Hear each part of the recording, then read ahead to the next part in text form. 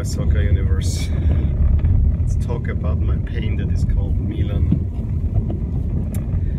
Uh, isn't it fun to talk about clubs in crisis? I don't know. It's one thing that I see in the news cycle. Uh, you always want to have someone in crisis, but I have to say, for given their historically merits both Manchester United and Milan. I think those are two clubs that can be said to be truly in crisis. And it is even more, and I'm now going to the Milan side, I think there's a whole video for Manchester United in there. But I'm going on the Milan side because uh, last season actually gave me some hope in Milan. Uh, the second half of the season was actually pretty darn good. It's just that they had such a liability from the first half uh, they just didn't work. And you know you had some stupid results and then you fall a point short and we can find this point almost anywhere. I'm particularly pointing to Frosinone and Higuain's miss there. Uh, that to me was a bone breaker. Uh, another one was the late equalizer that they got at Lazio. Another of those where you really know. But yeah, so you enter the new season with a new manager, with uh, signings that did not fit the manager, but at least some of those I thought uh, I was really looking forward, especially Bennacer. I was really looking forward to Bennacer, and then he's not being played. Um, I I know that there are some people that um, don't don't think too highly of Rebic. I honestly thought that uh, Rebic, Jovic uh, together at Frankfurt, they were really good. And I guess that Jovic, I have to say, that, uh, him going to Real Madrid was a little bit of a stretch. But okay, uh, so be it, it was just uh, the way it goes. So yeah, uh, I actually thought this Rebic signing might be okay. I also thought that the club is now following a certain strategy, you know, getting a little bit younger players. Yes, you need some older players to balance it out. I did not necessarily like the sale of Cutrone, the sale of Cutrone, but you know, at the same time, I also didn't like the sale of Moise Kean by Juventus. Those, both of those didn't make much sense to me. Maybe Cutrone a little bit more. Um, and I have to say, as much vindicated as I felt when signed, he immediately got into scoring. Uh, always, I already saw at the end of the season, once the scoring, uh, the rise up, uh, it's pretty miserable with him. And at the beginning of the season, it was pretty miserable with him. Uh, it still is to a degree. Uh, and Calhanoglu, I don't know I think he can make an impact, but I don't think he should start. He is a frustratingly inconsistent player. Absolutely frustrating. So, and now we get to the real topic of this, the manager sacking and whatever.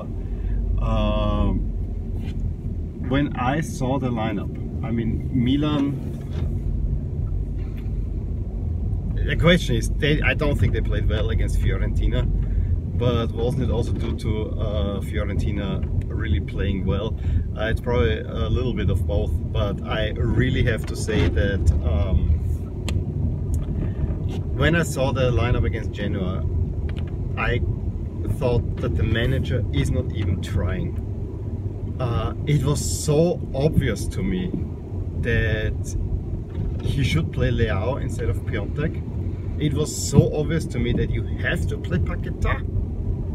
I think Paqueta is a starter for Milan. He is way better than Calhanoglu. Uh, at the end of the season, uh, last season, when Paqueta arrived, things actually turned around for Milan. I actually have a lot of hope, hope for him. Uh, I had a lot of hope for Calhanoglu, but to be honest, um, he had some good performances, but he never lived up to what I thought he can bring to the team. So that to me was really disappointing. The other thing is that I have to say Giampaolo what really disappointed me, especially the first lineup of the season. Uh, you bring in all these new players, and you still rely on the old guard, and you want to play them in some way that is not really befitting them or your system. It just did. It, it, it was a train wreck from from from, from the beginning. And yes, uh, Giampaolo Sampdoria was a nice sight to watch and he did quite well there. However, I'm sorry. I'm really sorry. Uh, you cannot go with me. I mean, this was a cluster F, if you know. Cluster mess government courtesy we're gonna use this one. I wanna keep it uh, somewhat clean here. Or should I? I don't know. So yesterday the news come, uh, the news cycle spinning. Uh, Giampaolo is out. Um, yes, it's on the back of a win where uh, he maybe in the end just got it right and by the uh, grace of Reina, uh, who also, yeah, it's pretty clear that Reina is only a reserve goalkeeper. Uh, I have to say, every time Pepe Reina plays, it's such a mixed bag. He can make horrendous mistakes, but also at the same time, he, he pulls out a penalty save or makes something good. But I never have confidence. When Pepe Reina is playing, I don't have the confidence that I have when Donnarumma is playing. And Donnarumma is hit, hit or miss eh, himself, but I always know that Donnarumma is sensational if he's on. If he's on, he's on. And in the derby, for instance, he, he was on we don't need to talk twice about it. Uh, it was then the failings, especially in second half, to really control into and react to their changes adequately that Milan then really fell uh, by the wayside. And I put this also also on the on, on the manager. Also, you need uh, as a manager. Uh, you know, having this quiet philosopher manager with a squad of young players I don't know. I don't know. Uh, it just seems ill-fated from from the beginning. Then, yeah, who do you replace him with? This is for me always the first thing. I really hate changing coaches, but I have to say that uh, to me it had reached a point where it was so obvious to see that there is something going wrong. Uh, that I think a change needed to be made and made quickly. I mean, and he's with it, 111 days, the shortest serving manager. I really would have loved to have him work out. Uh, if he would have played the style that he had at Sampdoria and so on, I would have loved to see that. Uh, I think Milan playing an offensive style, that would have been great. Absolutely awesome and amazing. So yeah, who is available? Well, quickly, there were, I think, three uh, names coming up. That is um, Garcia, who actually had a good spell at the beginning with Roma and then it fell all apart. Um, there was Stefano Pioli, who, to be honest, I mean, I, you know, I have this whole uh, following Italian soccer starting roughly with uh, us moving to Austria in 2013 to basically right around when Montella got sacked and Gattuso came in. Uh, there I don't feel as confident at what what was going on in Italy. Um, or gen, gen, general soccer. There was there, there, there is I call it my sporting black hole due to having family and lots of stuff to do. In any case, uh, I thought that Pioli, uh, he had a Fiorentina squad that was young and actually managed it quite well. The only downside uh, is I still don't know how he resigned. I mean, his Fiorentina hit a tailspin at there. Uh, of course, at Inter he was everything but stellar. Um, which, yeah so and so, but I actually, I have to say, I liked him at Fiorentina. Um, and then at first I thought we're going to uh, Milan, uh, might this be alright? But you know, then I did my research and more, on that later. And then there was the big Spalletti option. And despite him just being the Inter manager, I have to say I would like to have Spalletti because he he's a maniac. I mean, uh, mentally and so on, he is not quite there. Honestly, he's not. Uh, yeah, uh, he's a character. Let's put it that way. He's a character, but what he brings to the coaching, uh, he is technically one of the better managers in Italy. Um, if you ask me what would be my preferred manager, probably Allegri. Because, uh, I mean, Allegri being available, he is one of the best managers still around and currently out of a job um, after being at Juve.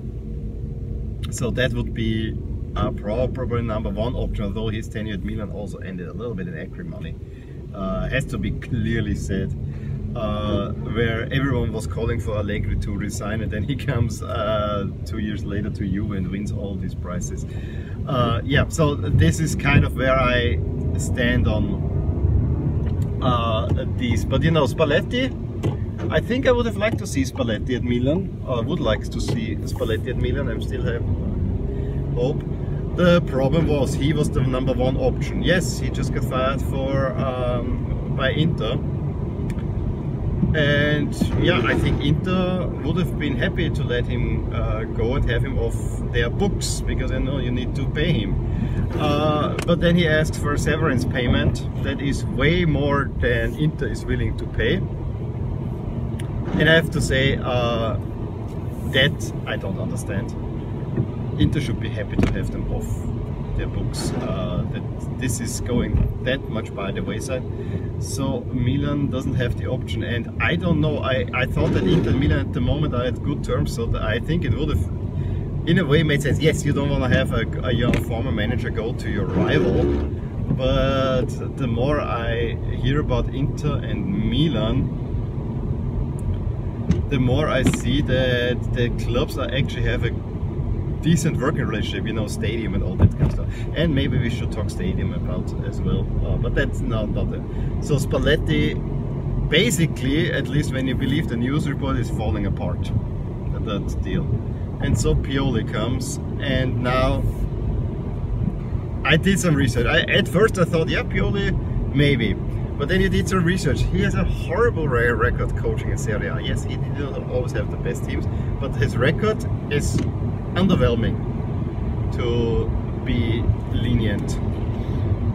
Uh, and then, same as Giampaolo, he has a proclaimed love for Inter, and this does not sit well with the fan base. You brought already a coach in that wanted to have Inter. Yes, one of the big stars in the 2000s, uh, Andrea Pirlo, was also an Inter fan. Okay.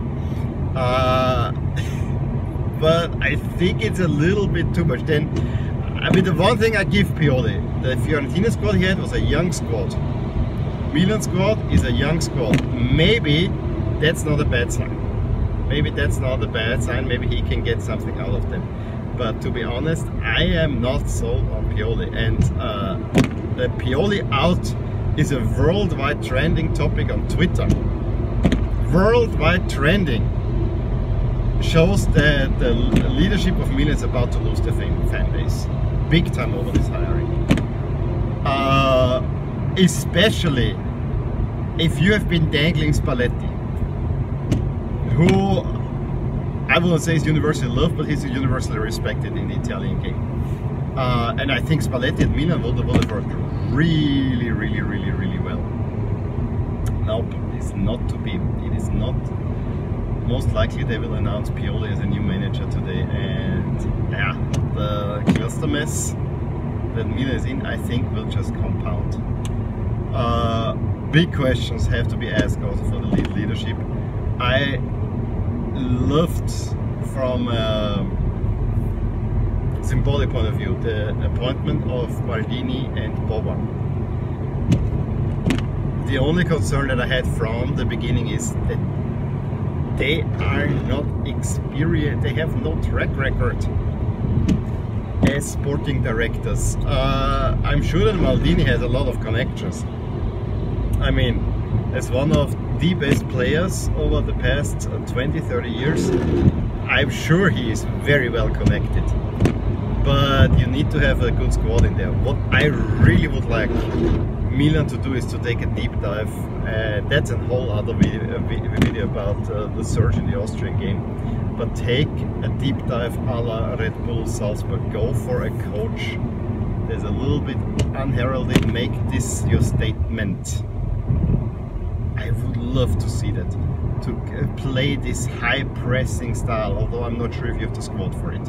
Uh, what frustrates me the most watching Milan really is how slow they're playing. The slow build build up and uh, there's no excitement in there. If they would play uh, a high pressing, high energy style, I think Liverpool, but I think Salzburg is the one real uh, model for that. I would so love that.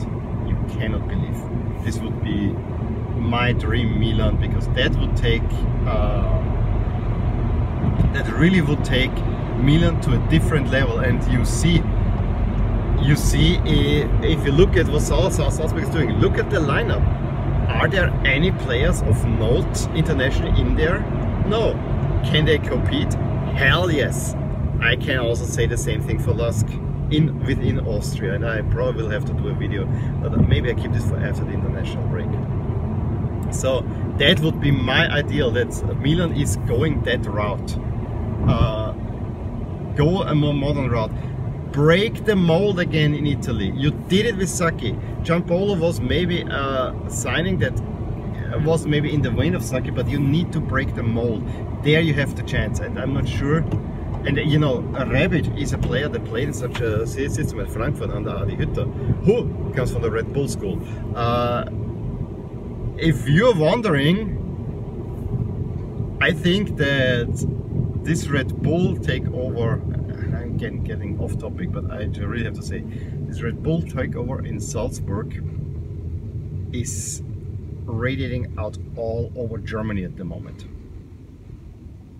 And I would love if other leagues would follow. I mean, it's radiating out a little bit also Klopp is in that vein, belongs to the bigger thing. So Liverpool has that too. Pochettino is also, there. In Italy, to me, it is largely missing. And I think Milan here really could break the mold and do something. And most importantly, trust your new signings like Bennacer. If any new coach can do that, we already have won a lot. Now, uh, I'm I'm getting less and less excited if really Pioli is uh, presented today. I think when I see what he has been doing, yeah. On the other side, give the manager, give a new manager a little bit of trust. Uh, I'm a big proponent that you need continuity. Uh, and the funny thing is that the whole Milan family is probably really hoping, uh, or, uh, you know, longing for the days under, under, under Gattuso, who did management more in the sedan style, being a great man manager. However, technically he didn't have it, so you know. I still have some hopes that the mess with Inter can be sorted out because what would that mean for the stadium? What would that mean for the stadium? I mean, there you want to work, work together. Can't you just figure out with Spalletti, help the brother out? The father, I should say, because I consider Milan the father of Inter history. Speaking of stadium, and that's where I wanna kind of end it, because uh, it's also, I mean, that San Siro is now about to be demolished. That hurts me mostly because I have not been in San Siro inside. I've been on the outside, but I've never been inside the stadium. To me, San Siro after Wembley is the stadium in Europe, and Wembley doesn't stand any, anymore. I I think there's no stadium like it in the entire world, um, especially when it was filled to capacity with the steep stands. I mean, Dortmund Stadium is kind of modeled a little bit after San Siro.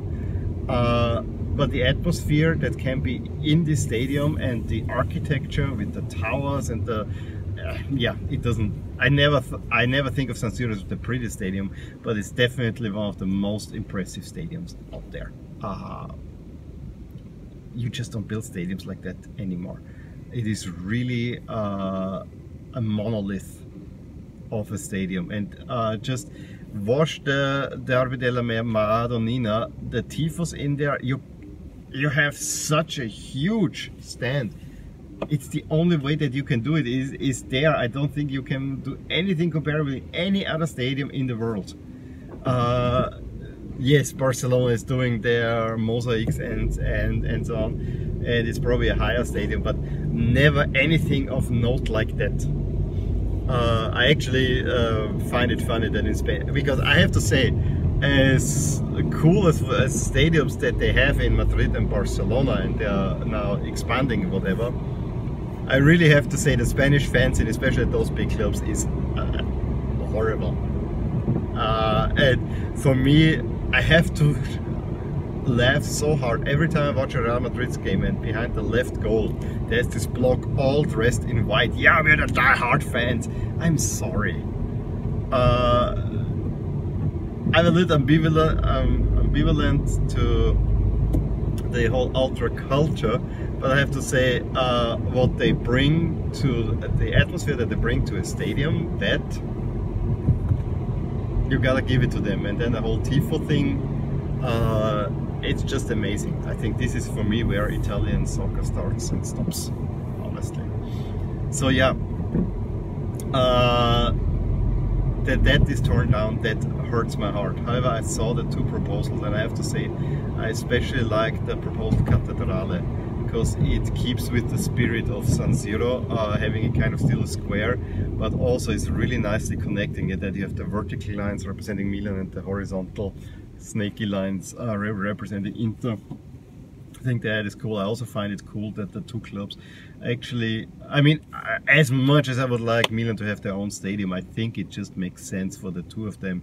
Let's do this together. We have, uh, and yeah, my hatred of Inter is really dissipating over the years, uh, I gotta say. But I really have to say that um, let's do the stadium together. Uh, because we can achieve much much more uh, I have to say the other design it doesn't the Anello design the, the two pos positives for that one is a um, it is from an Italian firm uh, which I think has a you know, I like it when they keep things local. Uh, and that it has in its um, overall design, there is still the feel of the old Siro in there.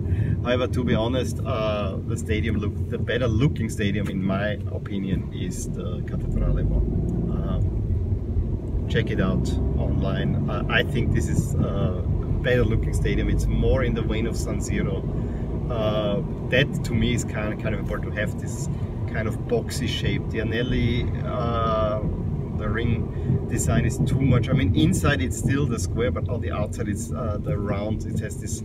It doesn't look like um, a stadium in the vein of San Siro. It doesn't look like a soccer arena. It, uh, it invokes a little bit too much the athletics model of a stadium. So it kind of comes this round shape. Uh, yes, I would love to see that they keep San Siro in some way, but yeah, I see the realities. But having said all that, do I think in any time soon we will see a new stadium in Milan? No. Uh, do you remember that three years ago, four years ago, the Stadio della Roma? Also with a big business park and everything. Great model. Uh, I'm not sure if it has even passed. They have even got the permission yet to build. Uh, because you know public land lots of politicians blah blah blah blah blah blah. Italy is an absolute cluster mess. I really start liking this work.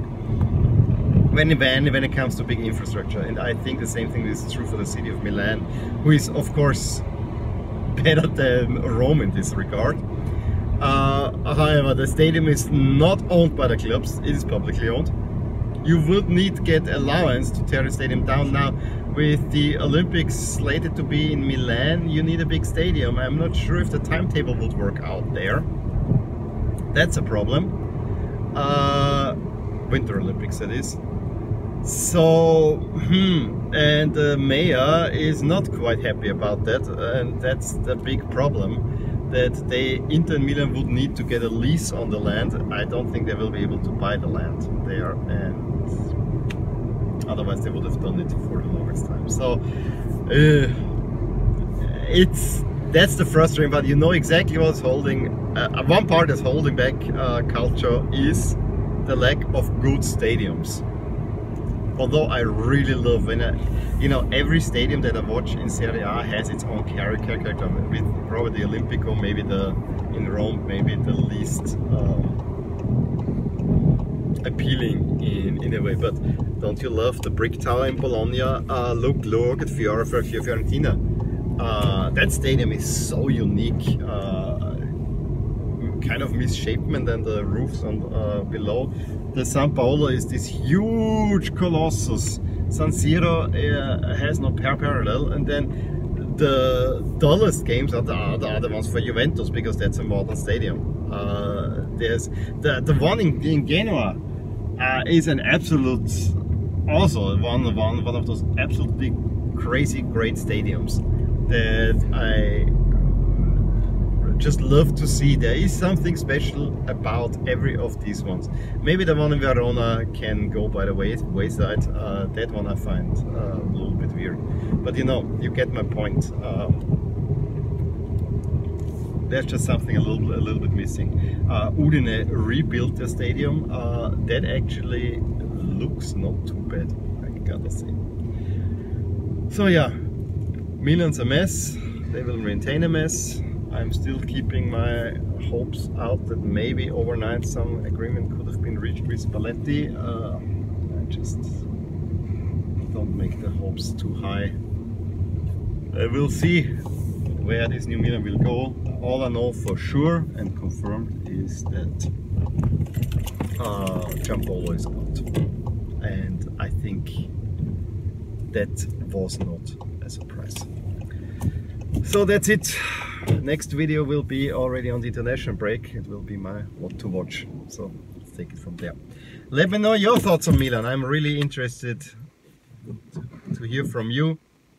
Give a thumbs up if you enjoyed this video. Subscribe to my channel if you want to see more. I'll talk to you soon. Bye.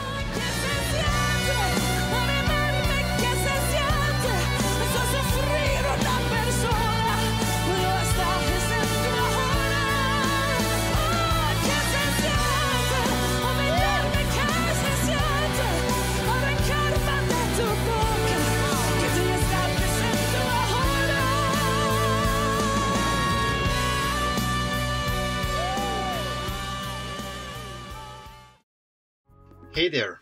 I hope you enjoyed this video and if you did, here are some videos and playlists that would be of interest to you too. Also, please consider subscribing to my channel as it will keep you updated with all things that are rotating in my soccer universe. With that, I wish you a wonderful day. Bye!